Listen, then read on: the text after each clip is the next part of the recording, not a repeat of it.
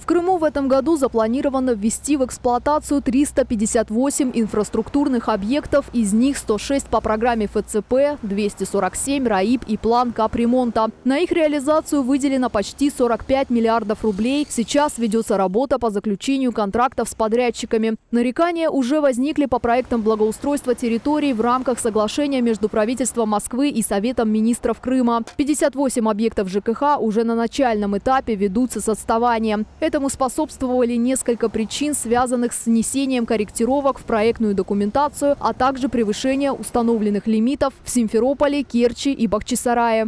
Мы списки с вами в декабре формировали правительство Москвы, утверждали их, соответственно, прикидывали планы действий, подтверждали то все объемы финансирования, соответственно. И получается, только в декабре подписали, и уже э, в начале февраля говорим, что нам не хватает денег. Вы понимаете, что это вопрос в управленческих практиках, получается, неэффективных, ну, по-другому, то есть назвать эту ситуацию не могу. Выходить с этой ситуации будем, будем искать там варианты по-любому.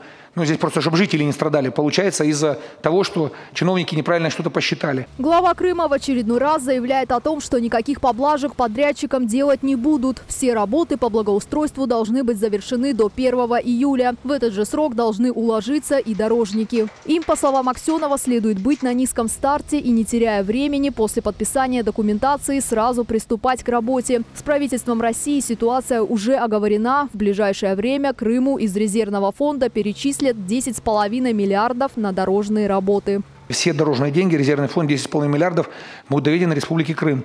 Поэтому подрядчики уже все стоят, э, так сказать, с лопатами на перевес должны, с техникой выведены на объекты. Но вот компания ВАТ Симферополя, я знаю, уже вышла.